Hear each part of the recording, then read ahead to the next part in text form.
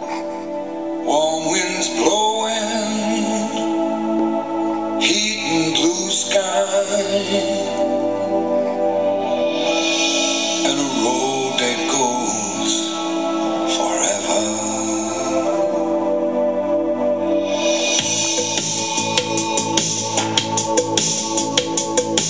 thinking about it lately, been watching some TV, been looking all around me, and what has come to be. Been talking to my neighbor, and he agrees with me. It's all gone crazy. Howdy folks, this is SL with SL Prepping and Survival. Um, recently I posted a video about making a survival candle with beeswax. Um, today I want to follow that up with different types of survival candles and some that you make and then some you can purchase. Okay, well, let's see here. We'll go left to right my left. Um, these are tea candles.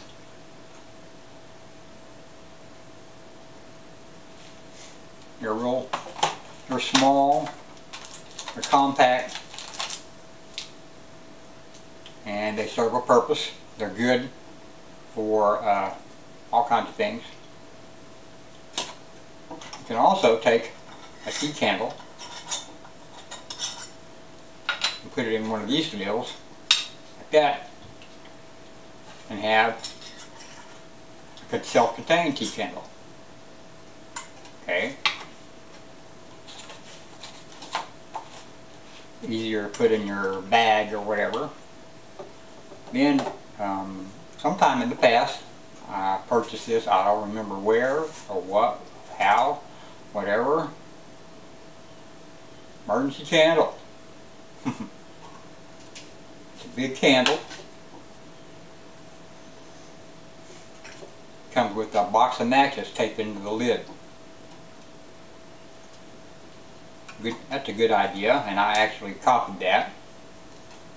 It says on here, ideal for home emergencies, power outages, camping, and storm conditions. Yeah. Okay. Uh, here's another example. This is uh, made out of beeswax. These are um, petroleum wax like Gulf wax. Okay, this is made out of beeswax. This is from uh, Best Glide Adventure Pocket Survival Candle. Um, yeah, here you go.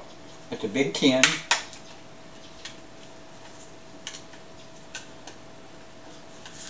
I can get it open. There we go. It's a big tin. It's full of beeswax. Has three wicks. It did not come with a box of matches, book of matches, so I put in a little book of uh, matches that came from an MRE at one time or another. When you get it, you can purchase this from Best Glide. I forgot how much it costs. Uh, it comes with a little rubber band that's attached back here and the whole thing's sealed in plastic. Rubber band is to keep this closed once you open it. Okay. Um, this is a votive candle. Votive, I call it. And that's pretty simple. You just place it, you don't even have to place it in there, but that's basically to contain the wax and it melts. This is a homemade candle made with Gulf wax and uh, a votive candle. we used, I used the votive candle as a center for it and put in uh, uh, a lemon scented, I put some, you can get scents for your candles. put some lemon scent and some Gulf wax in there and you have a homemade candle. Simple, takes a little while, not a big deal. This is um, another type of store-bought can tin candle, heirloom, vanilla flavored. Okay, just a little simple uh, twist off top. It's not even screw down. It just sits on there. Smells good. Vanilla. Okay. Um, this is, a lot of people call these uh, buddy candles or buddy stoves. Basically it's just cardboard uh, put in a metal can and then you soak the whole thing with Gulf wax. Uh, and it makes a little stove and it's a good candle too. Okay. Uh, this is the one I recently showed you. Has a screw-on lid. It's in a self-contained tin. And I put in half of a pack of uh, MRE matches inside of it. The whole one wouldn't fit, but half one would. So basically you have the candle and you have something to light it with. And it just screws on. Course you want to wait till it cools down, but you can put the lid on to snuff it out if you want. This is an Altoids tin candle. Made with beeswax also. I put two wicks in this. One, two, and a whole full box of a pack of MRE matches. Okay, everybody should have candles. Um, some good alternative lights. They don't put out a lot of light. You can also make um, an oil-based candle by using any kind of oil. Most people use a cooking oil of some kind, um, virgin uh, uh, olive oil, all kinds. You just put it in a little uh, container, usually a glass container because you can get more glow.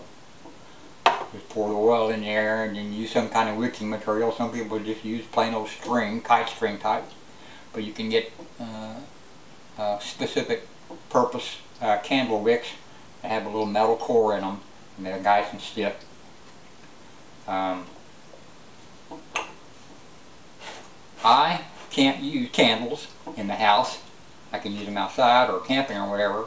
Um, simply because the old guy that I'm the caregiver for here is on oxygen and uh, we have oxygen running in the house all the time.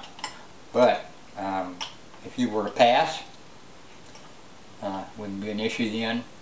Whatever, oxygen runs out, could use uh, any kind of candle I want.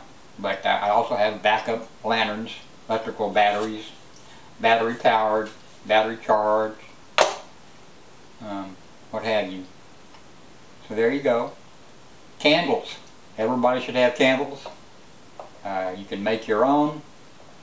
Um, get you a big box of uh, Gulf wax. I should have brought a box out here. I think I have one, but in any case, I didn't. I don't have it out here. Comes in a kind of a rectangular box. buy it in most uh, supermarkets um, because they're also used for other things like canning, uh, etc. So it's a good idea to have some wax on hand. You can use it for whatever you want. You need to. Alright, this is SL with SL Prepping and Survival. Hope you enjoyed the video. Please like and subscribe. And uh, y'all come back now. Here. Leave a comment too.